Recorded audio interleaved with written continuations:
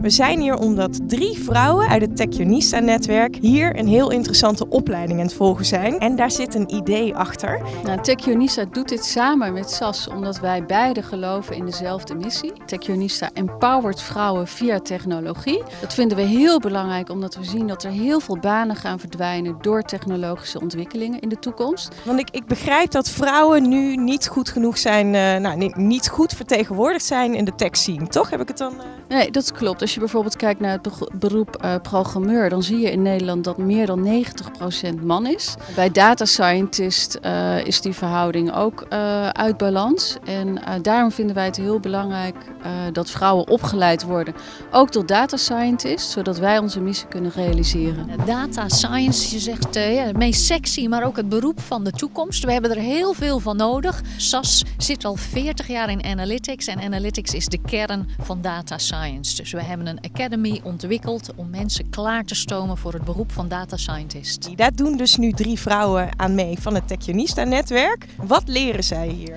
Wij zeggen de kern is analytics. Daarvoor moet je statistiek goed kennen. Kunnen communiceren. Je moet je resultaten presenteren aan de boardroom, aan de eindgebruiker. Denk aan storytelling. Je moet ook data kunnen verzamelen, opschonen, klaarzetten om je analyses te kunnen maken. Dat analyseren, daar heb je honderden modellen voor en wij gaan ze daar alle meest gebruikte technieken voor leren. En dan zit het er straks op. We zijn nu aan het eind van level 1, nog zes weken te gaan. En dan gaan we dan een baan voor ze vinden, denk je?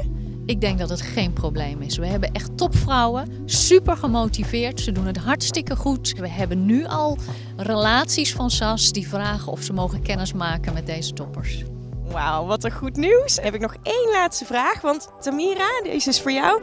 Als we denken aan data science en SAS en Techionista, wat is dan jouw hoop voor de toekomst? Ik ben ervan overtuigd dat we als we ze kunnen opleiden en bemiddelen naar een baan, dat wij dit kunnen realiseren. En dat er daadwerkelijk meer diversiteit is op de werkvloer. Op naar heel veel vrouwelijke data scientists. Dat begint vandaag hier met Techionista en SAS. En we gaan natuurlijk alle drie de kandidaten spreken om te vragen hoe gaat het nou met je? Na zes weken, na dat eerste level? Nou, de antwoorden daarop ga je allemaal vinden in de volgende video's. Stay tuned!